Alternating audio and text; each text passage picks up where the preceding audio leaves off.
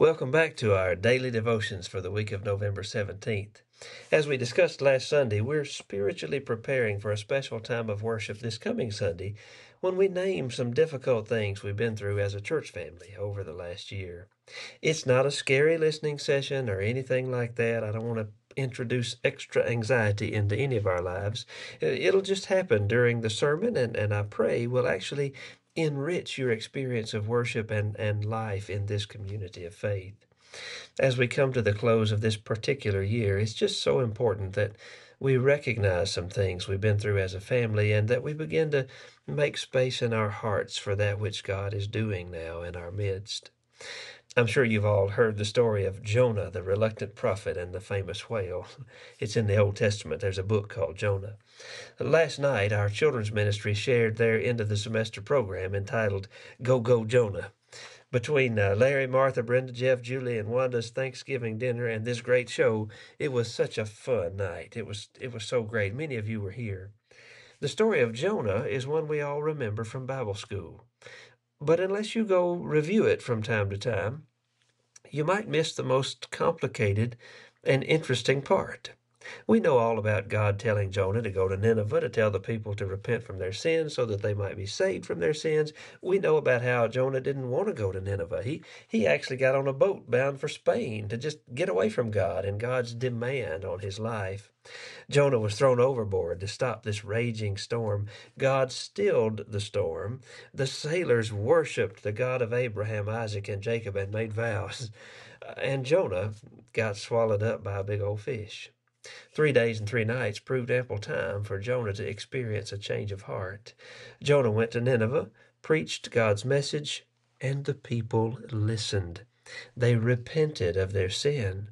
Jonah 3, chapter 3, verse 10 reports when God saw what they did, how they turned from their evil ways, God changed his mind about the calamity he had said he would bring upon them, and he did not do it. End of story, right? No, not the end. Jonah actually became very angry, so angry at the Lord, so angry, in fact, that he, he said he would rather die than to live in a world governed by a gracious God who is merciful, slow to anger, abounding in steadfast love, and ready to relent from punishing. That's chapter 4, verse 2 we discovered that Jonah wasn't actually afraid to go among the scary, evil Ninevites. He was afraid God would be merciful to the Ninevites. And his worldview just couldn't bear the thought of a God abounding in mercy rather than operating in judgment and punishment. Jonah's way of operating in the world was rooted in this place of you get what you deserve. If you're good, you, you get good things. If you're bad, you get punished he wasn't able to see God creating space for all our hearts to be transformed by love, mercy, and grace. Even Jonah's heart, which clearly still needed some work. The kids sang a beautiful song last night near the end of the performance. It's called Without Love.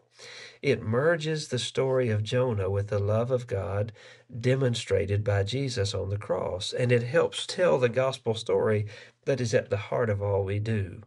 The last verse of that song goes like this You can say you love the Lord and say you are one of His.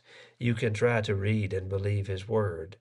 But without the love of Christ, your heart's as cold as ice, for only love can change the world the book of Jonah concludes with God justifying his mercy. Jonah winds up getting angry about a little bush dying from one day to the next. God had sent a bush to provide him some shade and on and on. Uh, God says to Jonah, Why, you're concerned about a bush that sprang up and died in a night. Should I not be concerned about a whole city in which there are 120,000 persons who don't know their right hand from their left? At the heart of God's movement in the world is a deep awareness of the problem of human sin and brokenness and the creation of space where life changing transformation can happen. I'm thinking God is creating space for life changing transformation here among us today, for you and for me. I can't be mad about that. What about you? Amen.